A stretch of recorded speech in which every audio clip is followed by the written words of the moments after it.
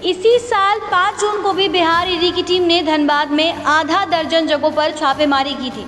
वो छापेमारी बिहार में बालू घोटाले को लेकर की गई थी, जबकि 23 अगस्त को ईडी की टीम ने झारखंड के 32 ठिकानों पर छापेमारी की, जिनमें धनबाद के दो ठिकाने शामिल थे। इतने कम समय में दो बार धनबाद के प्रवर्तन निदेशालय के प्रवेश से धन पशुओं की नींद हराम हो गई है। दोनों छापेमारी में अलौकिक ग्रुप के सीईओ रितेश शर्मा से पूछताछ हुई। ये बात अलग है कि रितेश शर्मा ना तो सीधे तौर पर बालू के कारोबार से जुड़े हैं और ना ही शराब के धंधे से। फिर भी बुधवार को भी प्रवर्तन निदेशालय की टीम उनसे लगातार कई घंटों तक पूछताछ की। इसके पहले बुधवार को ईडी की टीम धनबाद के ग्रेवाल कॉलोनी पहुँची और वहीं रितेश शर्मा को बुलाकर पूछताछ की। दिन भर इस बात की चर्चा होती रही कि 5 जून को भी छापेमारी में रितेश शर्मा से पूछताछ हुई और फिर 23 अगस्त की छापेमारी में भी आखिर रितेश शर्मा से क्यों पूछताछ हो रही है?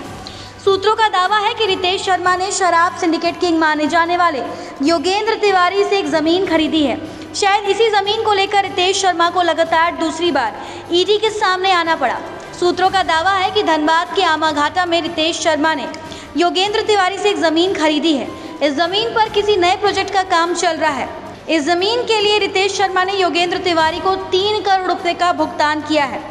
पहले ईडी की टीम ने रितेश शर्मा की तलाश में ग्रेवाल कॉलोनी पहुँची, जबकि फ़िलहाल वो भेलाटाड़ की सोसाइटी में रहते हैं। उसके ममेरे भाई ग्रेवाल कॉलोनी में रहते हैं। फिर ईडी की टीम ने ममेरे भाई के ज़रिए रितेश शर्मा को ग्रेवाल कॉलोनी बुलाया और पूछताछ की। ईडी की टीम बुधवार को शाम सात बजे के बाद धनबाद से गई, लेकिन ज़मीन से जुड़े कागजात साथ लेते गई वैसे ईडी की टीम बंगाल नंबर की इनोवा गाड़ियों से धनबाद पहुँची थी। ग्रिवाल कॉलोनी में दो गाड़ी गई, जबकि शंकर कॉलोनी में दो गाड़ियाँ छापेमारी करने को गई।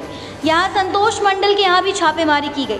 संतोष मंडल भी शराब कारोबार से जुड़े बताए जाते हैं। बहरहाल, बुधवार को ही बालू घोटाले में बिहार पुलिस धनबाद में कम से कम दो जगहों पर छापेमारी की। बिहार पुलिस जगनारायण सिंह, उनके पुत्र सतीश सिंह और सदाशिव प्रसाद को खोज रही थी, लेकिन वो घर पर नहीं मिले। धनबाद से ब्यूरो रिपोर्ट।